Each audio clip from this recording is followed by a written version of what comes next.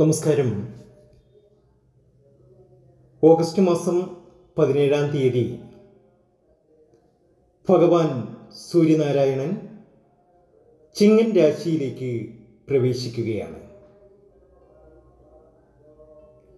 ചില ഗുണങ്ങൾ ചില മാറ്റങ്ങൾ ചില ഗ്രഹങ്ങളുടെ മാറ്റം നമ്മുടെ ജീവിതത്തെ മാറ്റിമറിക്കാറുണ്ട്. അങ്ങനെ ജീവിതത്തിൽ ഒരുപാട് മാറ്റങ്ങൾ വന്നു ചേരുവാൻ അല്ലെങ്കിൽ വന്നു ചേരുന്ന കുറച്ച് നക്ഷത്ര ജാതകർ. ശുക്രന്റെയും വേടത്തിന്റെയും നമ്മൾ പ്രാർത്ഥിക്കുന്ന ദൈവങ്ങളുടെയും ഒക്കെ സാന്നിധ്യം കൊണ്ട് വരാനിരിക്കുന്ന നാളുകൾ ഈ നക്ഷത്ര ജാതകരെ സംബന്ധിച്ചിടത്തോളം നേട്ടത്തിന്റെതായിരിക്കും.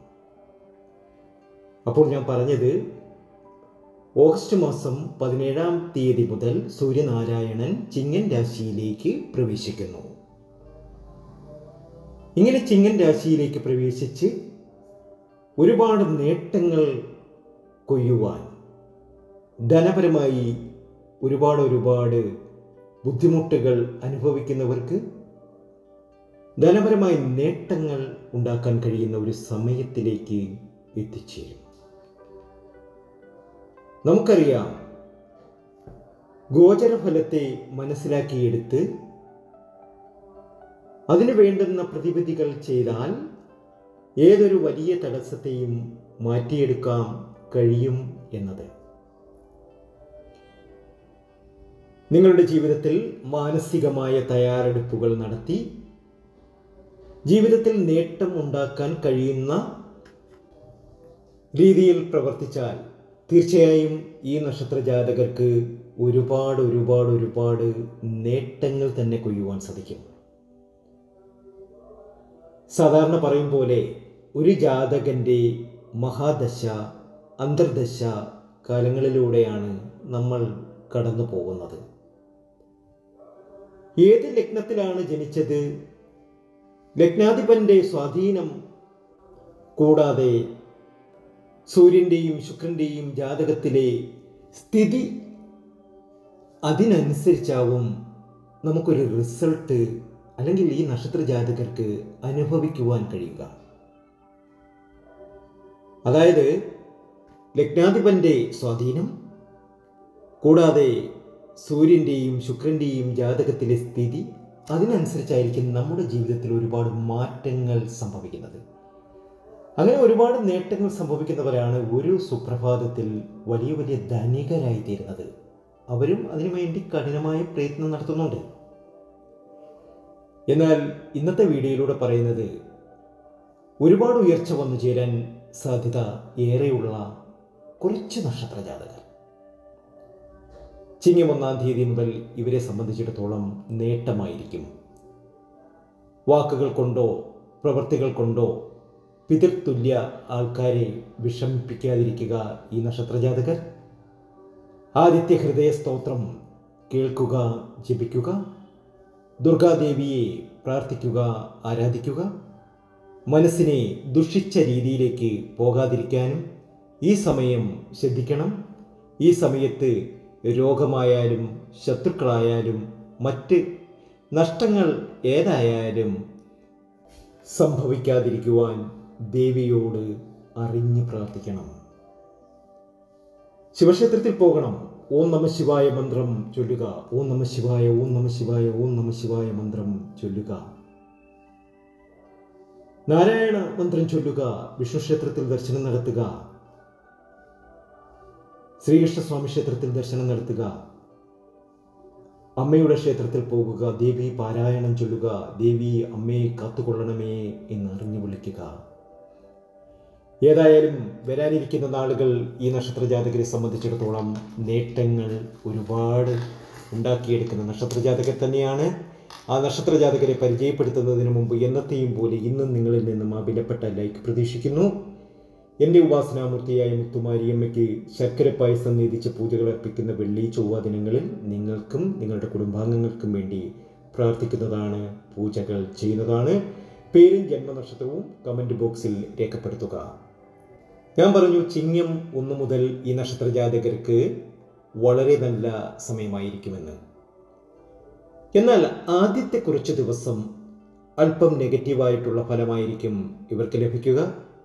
പിന്നീട് എല്ലാം മാറിമറിയും സർവ സൗഭാഗ്യവും വന്നു ചേരും. ഗുണാനുഭവം വന്നു ചേരുന്ന നാളുകാർ ആണിവർ. ആദ്യമായി അശ്വതി ഭരണി കാർത്തിക. ഇവർ ദേവി ആരാധന നടത്തുക.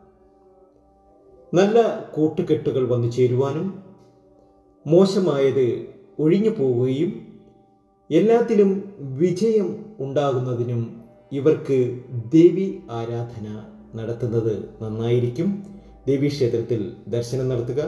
അതുപോലെ തന്നെ എല്ലാത്തിലും വിജയം ഉണ്ടാകുവാൻ വേണ്ടി നിങ്ങൾ മറ്റൊരു കാര്യം കൂടി ചെയ്യുക. നവഗ്രഹ ക്ഷേത്രത്തിൽ ചൊവ്വയ്ക്ക് അർച്ചന നടത്തുക. ചൊവ്വാഴ്ച ദിവസം നടത്തുക. ഈ പറയുന്ന നക്ഷത്ര ജാതകരെല്ലാം അത് ചെയ്യുക. തീർച്ചയായും നിങ്ങൾക്ക് വലിയ അഭിവൃദ്ധി ഉണ്ടാകും. വലിയ വീടൊക്കെ വയ്ക്കുവാൻ ആഗ്രഹിക്കുന്നവർക്കും വലിയ സന്തോഷത്തിനും സമാധാനത്തിനും വേണ്ടി കാത്തിരിക്കുന്നവർക്കും അത് സാധ്യമാകും. രണ്ടാമതായി രോഹിണി മകീരം തിരുവാതിര. ശത്രുക്കൾ നമ്മുടെ മേൽ എന്തെങ്കിലും ചെയ്തു കഴിഞ്ഞാലും അത് പെട്ടെന്ന് മാറുന്നതാണ്. നമ്മുടെ വീട്ടിൽ നടക്കുന്ന ശുഭകാര്യങ്ങൾ ഒരു മുടക്കം കൂടാതെയും നടത്തി തരുവാൻ ദൈവിക അനുഗ്രഹം കൊണ്ട് ഇവർക്ക് സാധിക്കുന്നതാണ്. ആത്മകാരകനായ സൂര്യഭഗവാന്റെ ചിങ്ങൻ രാശിയിലേക്കുള്ള പ്രവേശനത്തിൽ തീർച്ചയായും രണ്ട് ഗ്രഹങ്ങളുടെയും ശക്തി വർദ്ധിച്ചെടുക്കുന്നതിനായിട്ട് ദേവി ഉപാസന ഒരുപാട് സഹായിക്കുന്നതാണ്. നീചസ്ഥാനിയായ ശുക്രന്റെ ആയാലും സൂര്യനാരായണന്റെ ആയാലും സാന്നിധ്യം കൊണ്ട് സാധിക്കുന്ന അസാധ്യമായ വിജയങ്ങളായിരിക്കും ഈ നക്ഷത്ര ജാതകർക്ക് വന്നു ചേരുന്നത്. മറ്റ് നക്ഷത്ര ജാതകർ ഇവരാണ്. മകം പൂരം ഉത്രം അത്തം ചോതി വിശാഖം അനിഴം ത്രിക്കേട്ട പൂരുരുട്ടാതി ഉത്രട്ടാതി രേവതി. ഈ നാളുകാർക്കൊക്കെ ഭാഗ്യാനുഭവങ്ങൾ ഒരുപാട് വന്നു നിറയും. ദോഷങ്ങൾ അകലും. സമ്പത്ത് വന്നു ചേരും. നേട്ടങ്ങൾ ഒട്ടനവധി വന്നു ചേരും. എല്ലാത്തിൽ നിന്നും കരകയറുവാൻ ഇവർക്ക് സാധ്യമാകും. എല്ലാ രീതിയിലും ഉയർച്ചയാണ് ഇവർക്ക് വന്നു ചേരുന്നത്. ഈശ്വര സാന്നിധ്യം കൊണ്ട് എല്ലാം സാധ്യമാകും. ദാനധർമ്മങ്ങൾ നടത്തുക. എല്ലാ രീതിയിലും എല്ലാ ഉയർച്ചയും നിങ്ങൾക്ക് വന്നു ചേരും. നമ്മുടെ ജാതകത്തിൽ എത്രമാത്രം ദോഷങ്ങൾ ഉണ്ടെങ്കിലും അതിനൊക്കെ പരിഹാരങ്ങൾ ചെയ്താൽ എല്ലാ തടസ്സവും മാറി എല്ലാ തടസ്സവും മാറ്റി നിങ്ങളെ രക്ഷയിലേക്ക് എത്തിക്കുവാൻ സാധിക്കും. അതുകൊണ്ട് തന്നെ നിങ്ങളുടെ ഈഗോ ഒക്കെ മാറ്റുക. നിങ്ങളുടെ ജീവിതത്തിൽ എന്നും സമൃദ്ധി വേണം. എന്നും നിങ്ങൾക്ക് ഉയർച്ച വേണം. നിങ്ങൾക്ക് ഒരുപാട് ഒരുപാട് ഭാഗ്യാനുഭവങ്ങൾ വരണം എന്ന നിങ്ങളുടെ ആഗ്രഹം സാധിക്കും. ഗോചര ഫലമൊക്കെ അനുകൂലമാണ് ഈ നക്ഷത്ര ജാതകരെ സംബന്ധിച്ചിടത്തോളം. ഇനി നേട്ടമായിരിക്കും. വളരെ വലിയ നേട്ടമായിരിക്കും. അതുകൊണ്ട് തീർച്ചയായും നിങ്ങൾ ക്ഷേത്ര സന്നിധിയിൽ പോയി പ്രാർത്ഥിക്കുക. മുരുകക്ഷേത്രത്തിൽ പോയി മുരുകനെ പ്രാർത്ഥിക്കുക ശിവക്ഷേത്രത്തിൽ പോയി ശിവഭഗവാനെ പ്രാർത്ഥിക്കുക. അതുപോലെ തന്നെ ഈ നക്ഷത്രജാതകർ എല്ലാ ചൊവ്വാഴ്ചയും നവഗ്രഹത്തിന് ചൊവ്വ അർച്ചന നടത്തുക. ഇത് പതിനാറ് ചൊവ്വാഴ്ച തുടർച്ചയായി തുടരുക. സുബ്രഹ്മണ്യ സ്വാമിക്ക് അർച്ചന ചെയ്യുക. ചൊവ്വാഴ്ച പതിനാറ് ചൊവ്വാഴ്ച ഇത് ചെയ്യുക. തീർച്ചയായും നിങ്ങളുടെ ജീവിതത്തിൽ വലിയൊരു മാറ്റം വന്നു ചേരും ഉറപ്പുള്ള കാര്യമാണ്. ഈ വീഡിയോ ഇഷ്ടമായിട്ടുണ്ടെങ്കിൽ ലൈക്ക് ചെയ്യുക ഷെയർ ചെയ്യുക. മറ്റൊരു വീഡിയോയുമായി വീണ്ടും എത്തും വരെ നന്ദി നമസ്കാരം.